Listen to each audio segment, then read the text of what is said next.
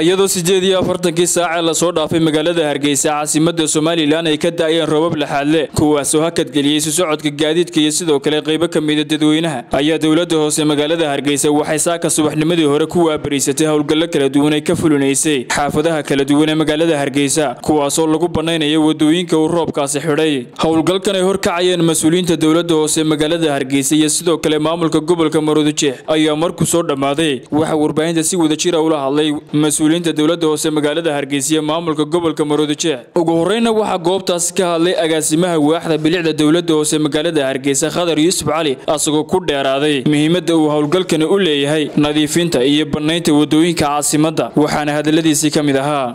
Ku bilaabnay caasimadda oo ilaa sakdii dhexan ugu daayay runtii roob badan buu ahaa oo nimco badan wax dhibaato badan manay dhicin.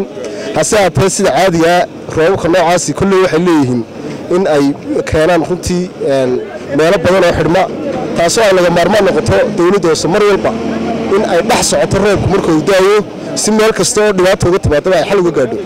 Howlgalkan iminkaad aragtaan saacadda iminka labadii doornimay ku dhowdahay xalay ayaanu bilownay runtii ilaa bacdal cishaagii sidii baanu xidhiir u ahaa shaqadu shaqaaluhuna way isbedelayeen runtii iyo gaadiidku guud ahaan degmooyinka caasimaddana waanu ka wada howlgallay falilaahi alxamdu iminka waxaanu ku sugannahay goobtii ugu dambaysay geestooda iyaguna waxaa hadalka iska daba qaatay ku-xigeenka duqa caasimadda hargeysa mudane cabdicasiis xaashi cagaweyn iyo sidoo kale badhasaabka gobolka maroodijeex iyo mas'uuliyiin kale. Ayagoo shacabka somalilanna ka codsaday maadaama la galay xili roobaadkii inay dowladda hoose iyo ciidamada ammaanka kala shaqeeyaan sidii caasimaddu u noqon lahayd mid nadiifa ay dowladda hoose ka shaqayso howlaha faraha badan ee ka shaqaynaysaa waxay noqonayaan inay wacyigelin badan dadka ku samayso heegankiina in la sii labalaabo.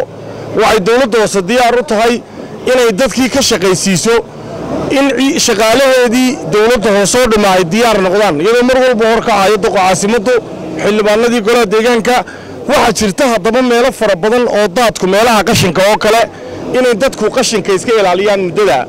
Cudurraa ka dhasha wax waliba way dhashaan in waxaa jirta meelaha biyomareennada oo dhan qashin la soo raaciyo daadka.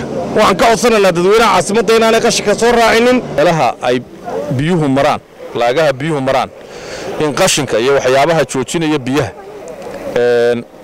ay ka ilaaliyaan. Runtii dhibaatadan maanta dhacday oo aynuga tacsidaynayno dadkii dhibaatadu ka soo gaadhay naf iyo maalba intooda badan waxaa sababay dariiqyadii biyuhu mari jireen oo la dhisay oo dad ay dhisteen. Khaasatan weliba dadka danyartaa buulasha laga dhisay. Taayirada meelii daranjiyadu biyuhu mari jireen awday dariiqyadii biyuha oo xidhmay. Waxaynu dadweynaha uga digaynaa inay ka fogaadaan meelaha biyomareennada ah.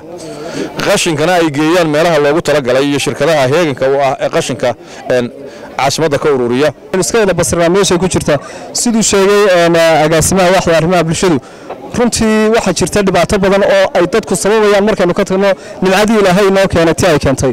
Waxaa jira in taayiradii la raacinayo in khashinkii lagu darayo in dambaskii lagu shubayo in dharkii la raacinayo in wax kasta la soo raacinayo. Waxaan leenahay aan iska ilaalino inaynu soo raacinano inagu dhib geysano. Midda kale waxaan uga digayaa dadweynaheenna in ay ka fogaadaan meelaha ay biyuhu marayaan marinada biyaha inay degaan dadku inay ka taxadiraan oo ay ka fogaadaan baa fiican عبد السمن علي حمود ستار تي في هرقيسة.